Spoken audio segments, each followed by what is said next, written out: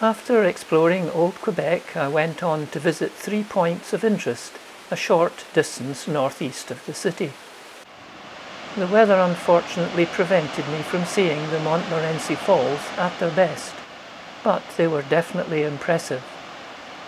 At 83 metres high, the visitor leaflet was keen to note that that was 30 metres higher than the Niagara Falls.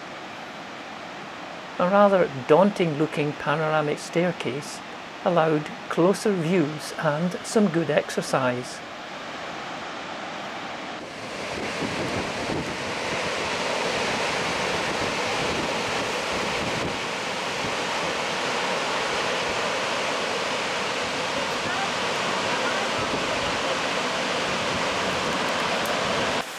Once up at the plateau level, the suspension bridge provided a scary view down the face of the falls.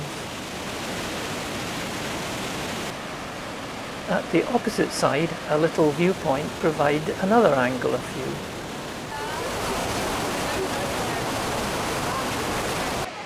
The cable car was an alternative form of access to climbing up and down. In the distance is the St. Lawrence River and the Ile d'Orléans.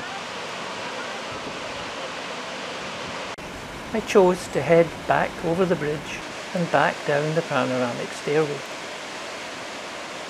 As I went down, the blustery wind became even stronger, swirling the spray around like mist.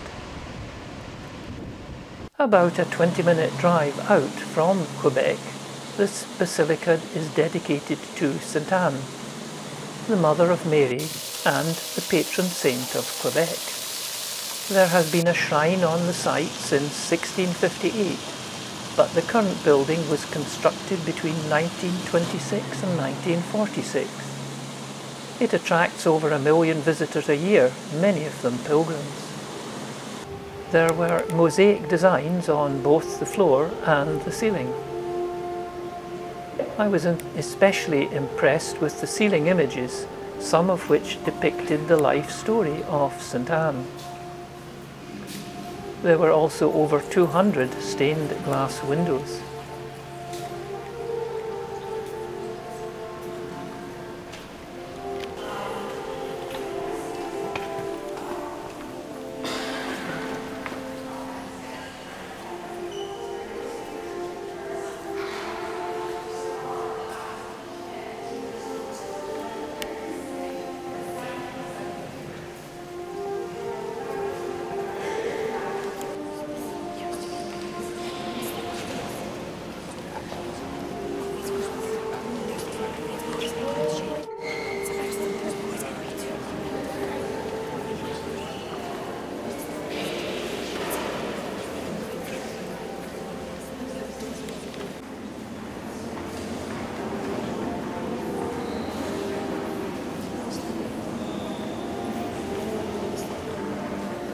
Although there was much to admire, the focus of pilgrims to St Anne de Beaupré is the miraculous statue of St Anne carrying the infant Mary. Further on again was the St Anne Canyon with the Pont Mestacibo being one of three bridges over the St Anne River the canyon had been carved by the power of the river on its way to join the St. Lawrence River.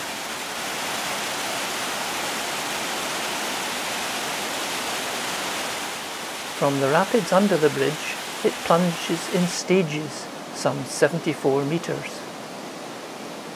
With the three bridges and several lookout platforms linked by trails both sides of the river, there is no shortage of vantage points to admire it.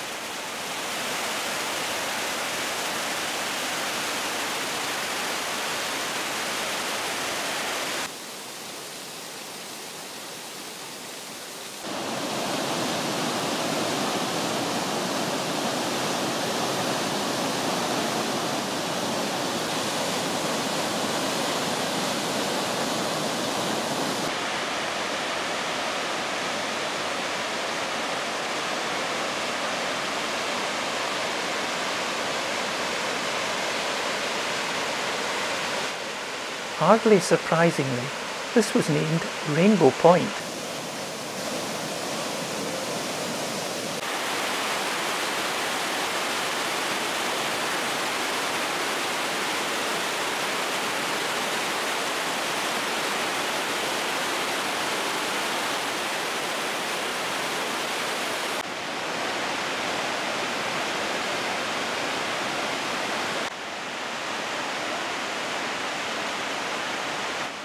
After a final set of rapids, the water was allowed to become tranquil again.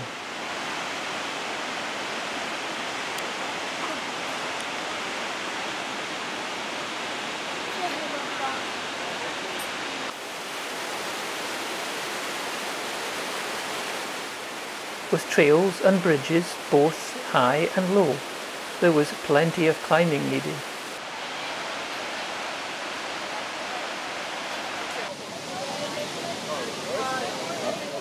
The park has multiple activities for the adventurous, including zip lining and abseiling, which is also known as rappelling, and finally a via ferrata or iron path to test the nerves.